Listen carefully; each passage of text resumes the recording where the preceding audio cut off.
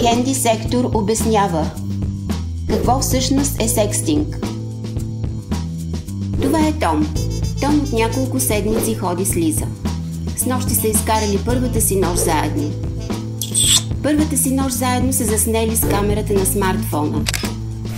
Том изпраща снимката на най-добрия си приятел Йоханес. За целта използва специално мобилно приложение, което показва снимката само за няколко секунди на екрана на получателя и след това я изтрива. Йоханес се радва за приятеля си, но иска да запази интимната снимка. Затова прави тайно копия на дисплея, преди снимката да бъде изтрита. Така снимката и след изтриване от мобилното приложение остава в смартфона му. Йоханес веднага препраща снимката на Паул и Елиас, също приятели на Том, за да научат и те за страхотната нощ. На следващия ден в училище е някак странно. Ученици, с които Томас никога не е говорил, му подвикват «Давай, Том! Давай!»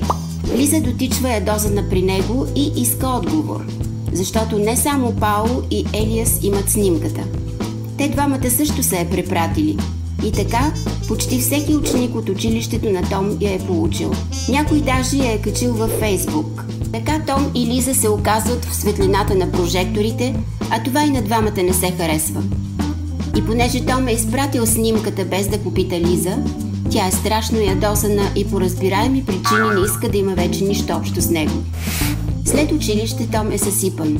Цял ден размишлява къде е сгрешил. Бил е абсолютно убеден, че след няколкото секунди снимката ще се изтрие. Сега вече знае, че човек никога не може да е сигурен дали това наистина ще е така. Всеки получател може да направи копия на дисплея и по този начин да я запази. Така е поступил и Йоханес, злоупотребявайки с доверието на Том и разрушавайки приятелството им. Том се ядосва обаче и на себе си. Защо изобщо беше направил тази интимна снимка с Лиза? Без нея всичко това нямаше да се случи. Междувременно Том се извинява на Лиза. Надява се, че тя ще му прости и двамата ще се съберат отново. За в бъдеще е сигурен, че вече няма да прави интимни снимки. Вместо да се занимава с записи, предпочита да се наслаждава на момента. А тези спомени със сигурност са лични и никой не може да ги види.